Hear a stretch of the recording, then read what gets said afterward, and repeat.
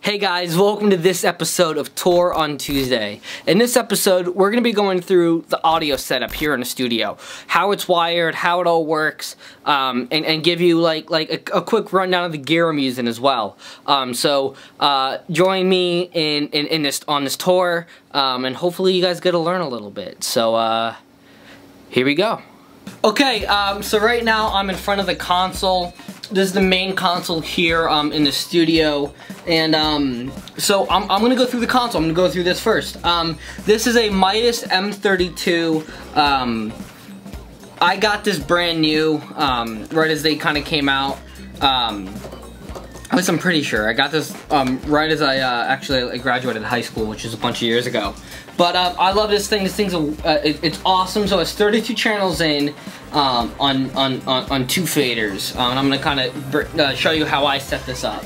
Um, so uh, page 1 through 16, which is here, um, a lot of this used to be drums. I used to have a really big kit set up um, over there, which I'll, I'll, I'll, do some pictures that I have. Um, there used to be 11 to 12 mics on that kit, um, which, which was a lot. Um, now I kind of have what I call my jazz setup. Um, so this actually isn't fully accurate anymore. This is from a different project I was working on. I have six mics on the kit now. So I, I took my setup down a half, which is awesome. Um, so I have that and I always start with drums and then I go into guitars and bass and then keys, like keyboards or anything like that. Um, here are my second layer. These are moving faders, flying faders, motorized faders, whatever you want to call them um, I, I would put like vocals and anything else, you know, um, strings and other stuff. So that's kind of how I normally would set this up. How I have it set up in here is I have my drums, I have some open channels, I have the guitar wireless and the guitar system which sits over there, put some b-roll in, um, and then more open stuff. It's just how it's laid out. Um, and then I have um, instrument one through six. That is in here. Um, I'll actually record vocals in here, uh, which I, have recorded vocals in here. I set them right, kind of right behind where the camera is right now is where I'll set everything up. And, uh, and, and then I have a bunch of more open stuff. I wanted it not to be so, um, confined where I have to plug in a certain mic in a certain spot, just to have a lot of flexibility. So I have a lot of stuff that's open here. Uh, I have my auxiliary um, channels here, which is um, the auxiliary like assistant auxiliary power. So I actually have a um, like a auxiliary cable in the couch that I got to keep in there that if anyone wants to plug in their laptop like a producer or someone show me something um, I have control of that right here. And then you have a bunch of open stuff. Um, my auxiliary um, is pretty basic. Um, I have outboard or analog outboard gear behind me. Um, so it's kind of like a hybrid setup. Um, the, the, the Mac so, so the Pro Tools rig um, and then this has USB recording in it. Um, I use this sometimes. I'm just doing like an easy demo track or something. I'll use this. So I have my USB um, playback here. All my effects my effects returns. All my monitor and um, and effect masters here. So all, all, the buses I use as like monitors. Um, so how this is set up here is my uh, my NS10s here, that, that I, I love these NS10s. My NS10s here, I have my master fader, and then a Tannoys, which are out here, I actually have on a, on a, on a monitor output. And, and, and, I wanted to set this console up so it's very easy to get to the most important things. And this is how I have it set up. Okay, so right here I have my, my, my, my quick assignments, is kind of what I guess they're called. Um, right off the bat, I have my Mac. So you actually see this fader move when I hit the, when I turn this knob. This is Pro Tools right here. Um, so, so that's really helpful to have, right? I don't have to be on this page. I actually can be mixing and turn up and down Pro Tools here. Um, next, I have my uh, my Tannoys. I have Tannoy left and Tannoy right um, here. And, and the reason I don't sync them up is, um, well, first off, there's an issue with, with the sync synchronization and, and, and, the pairing of them. And I kind of like having it separate. In case if something's wrong, I actually can mute them individually, left and right, and, and really hear an A and B of that. Um, and then far, far out here, I have the assistant, what we call the assistant auxiliary, um, right there. And those are paired up since it's, it's, it's a stereo signal there. Um, right now, I have a Pro Tools session running. Um, so I, I have my Pro Tools faders over here and all my other faders over here. So if I don't have my Pro Tools up, I press this button right here And now this turns into my DCA groups. So a DCA group, if you didn't know, is it takes a group of, um, of faders and it brings it down to one fader. It's um, digital, digital controlled amplitude is, what I'm pretty sure it is. And so um, if I have my, my, my, my drums here and I want to bring all the drums down. Instead of having to like do this or bring them down individually, I can take my DCA and knock it down a little bit. And it'll just take them all where they are relatively and bring them down. I have that for every single group here, um, and I even have for my outboard, um, just, just if I want to bring all the outboard stuff down a little bit, I have that. Um, all the buses that, that are here are actually also over here, so I don't have to be on my bus, so I can just do stuff like here and here, and this is um, all the matrix. I don't really use the matrix on this console at all, actually. Um, but if I'm doing Pro Tools, I can be recording and, and, and live tracking here, and then uh, Pro Tools automation and automation and stuff. Um, stuff here. Um, I also have this set up um, over here on my quick assignments um, for EQ as well. So if I am, let's say I, I have my Pro Tools here. Um, right now this actually mutes the Pro Tools computer as you can see right here. But I also can pull up the EQ here on the, here on the, um, the screen, so I can do that, and it pulls up this. It selects this. So if I'm somewhere else, the select goes on, select goes on now, and I can now EQ um, that that here. I do have a little bit of an EQ just because of there's a little bit of a, a ring, so I, I, popped out that ring, but it doesn't affect my mixes at all. It's very very slight here, so um, so it's, it's actually I uh, gotta fix that. That's what that is, but I also have like my Tannoy left and right, and the auxiliary one, that was from, I think we're experimenting with some stuff, so that's that's from. Um, okay, so that's the console. Oh, I also have a TalkBack uh, mic set up. You might see this little thing right here. This is actually a whole TalkBack mic system, and it's plugged in right here. Um, and uh, A is non-latching, so I hold it down, I can talk freely, I can look around, look up, and it'll actually pick up my voice. And then B is latching, so if I'm doing something and I want to have a full conversation with them, it'll pick that up. Um, so actually, I'm pretty sure, yep, so if you see here, when I talk, all these uh, go up and on. So because all the, except for the, the my monitors here, because there'd be a lot of feedback, I have my, my my um, TalkBack set up to all the, um, the monitors. Um, so if I switch this off, you notice that they're not coming on. I can press this, it'll come on, it'll turn off, it'll come on, hey, hey, hey, hey, and it'll turn off. So um, that's what that is. So um, if you look at the back of this console, it doesn't look like there's no any mics plugged in.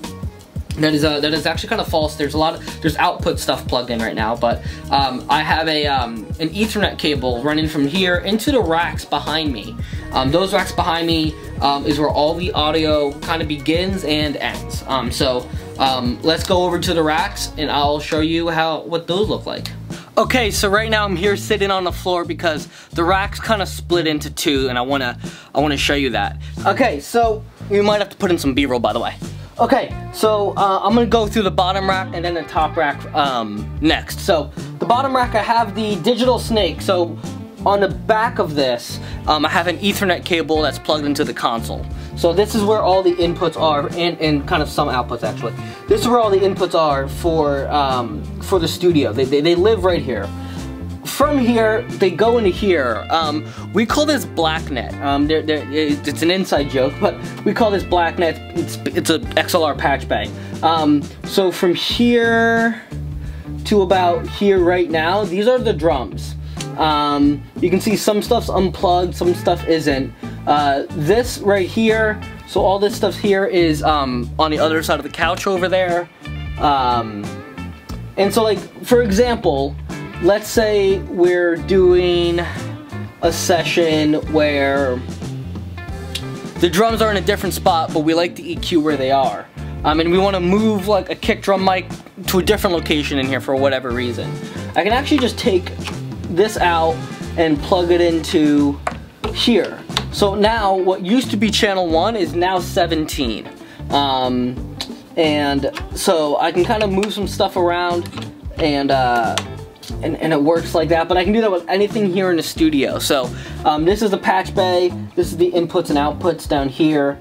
Um, so that that's kind of how that works. Okay. Um, also going go, starting going again from down here. I have the amp for the Tannoys. Um, the computers are here. This is the amp for the NS10s, and then again, the patch bay starts here. Um, okay, so that, that's kind of how this is set up down here. I'm gonna move on to what's, uh, what's going on up there. Okay, so right now we're gonna go through the top uh, section of this rack here. Uh, we have a compressor and a gate. Uh, the last two here actually hooked up to like, basically I can have the, the main left and right of the console go right into here if I want to really just compress the session just a little bit. I have that and then this can go back into Pro Tools. I have an Ampex tube limiter um, that there's kind of a funny story behind that, but that, that that's what that is. And then Blacknet down here. Um, you know, I, I also use a lot of plugins with my Pro Tools sessions as well, but sometimes it's nice to like go to a knob and like really like change the the ratio or come here and change the attack and really grab a knob and spin. So um, I, I really like that, um, th that, that feature that I have here in my studio. So um, Okay, right now I'm to show you how I would set up for a vocal session and, and, and my, my theory and my logic behind it. So uh, let's start setting up a session. Okay, so right now we're gonna set up uh, for like a vocal session. And if it was just a one vocalist doing some like overdubs or, or some basic vocals, this is how I would set it up. Um, it also depends if they're gonna be performing this live. Do I want them to have like live in front of an audience feel or more of a studio feel? Um, so I'll actually set up both. I'll set up a studio version and what I would think as a live version. So first things first is mic selection. Okay, so right now we're here in front of my, my, my equipment locker. Um, one mic is out right now, um, doing it's been on out for about a month on a recording project. Um, so I, am down one mic, which is fine. So I'm just gonna use um, this mic right here. Uh, I'll actually pull it out and I leave the box in here. So this here is a it's a simulation mic. It's it's an awesome mic. This is a, a, um, a U67 simulation mic. Um, this also comes with a bunch of different capsules, so I can change it for a U67 or a C12 to a U47. But just for the sake of this demonstration, I'm gonna keep the same same capsule on there. So take that. I also need uh, power supply, and we have a bunch of cables right here. Okay, I also need to pick um, the correct cable, so I've labeled this, it's the correct cable, and we'll go with this cable. I'm gonna show you why I need two cables for the setup um, here in a little bit. So I'm gonna set this up now. Okay, I'm also gonna grab my uh, my mic stand. I'm actually gonna use this one for live, for the live setup. And then this is the one for this, um, for this mic, that shock mount came with this mic, so I'm gonna use that. Okay, actually now it's time to set up. Alrighty, so I'll put this one here, gotta put this mic stand back. And um, so this mic I'm gonna put on the stand first. Um, that black box, by the way, is what's called the power supply. So it actually brings like power, like, like proper like electricity to the mic so the mic can work. Okay, so that feels safe about that. I'll keep uh, this one here just for now so I can find it here in a little bit. And I'm gonna start plugging in uh, the power supply. Okay, the power supply is plugged in. I'm gonna turn it on here. Alright, it is on. And uh, so that's on. I also want to set up the mic. So um, normally I would have um, my assistant Cole help me with setup as well. So I can tackle like mic placement and mic setup and he can tackle the technical plugging in you know the, the mic um, into the, the power supply and into the wall and make sure that's um, all good and, and, and, safe. So right now I'm just gonna get this set up just I'm gonna pretend like I'm the artist I guess. Um, so I would set it up kind of like this. Um, I don't have an extra windscreen for this mic. I kind of realized you didn't need it. Um, I mean, it came with one, but th th this this has a pretty good windscreen already on it. So I'm just not gonna um, not gonna use one. Okay, so that's set up right, and we're gonna now plug in the mic. So first, gotta plug it in to the power supply,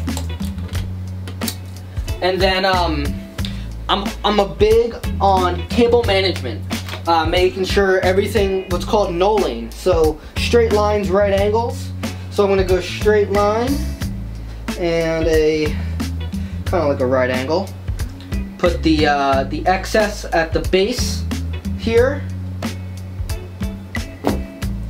And go ahead and wrap this around the stand just so, you know, sometimes you have excess, which is fine.